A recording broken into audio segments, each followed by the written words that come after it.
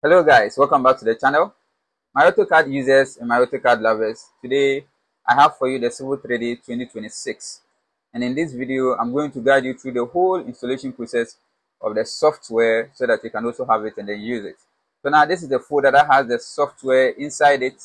We can find or we can see the what the installation files for the software.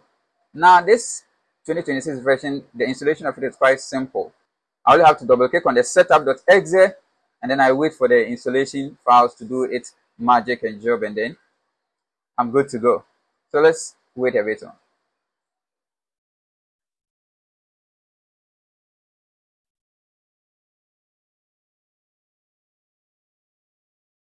So now in my installation window, I only have to give in a few commands and then leave everything up to the software to do its magic. So I here I click on agree and then I click on next and then here I choose the directory of my installation files. I'm going to leave it at default into my program files, the drive C and the folder Autodesk. I'm going to click. If you want to change the location of this, you can click on the three dots over here and then you can select anywhere to choose the files for your installation software.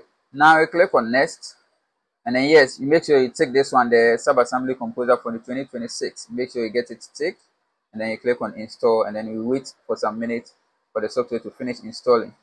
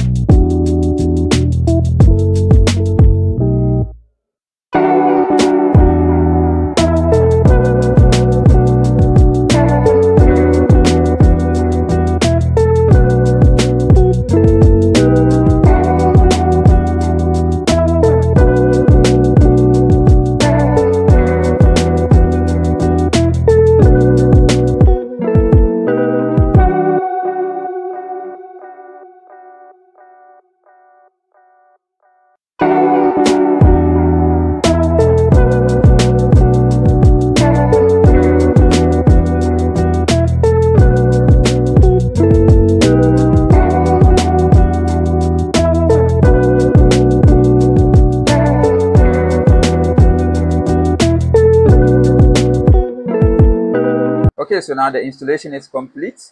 And then from the top of our view, we can see the two icons of the metric system and then the imperial system of the 2026 version. So now what we will do is to close this section and then also click the finish button to fully complete the setup. And once we have this, we can then head on to open the software to have a feel of the 2026 version.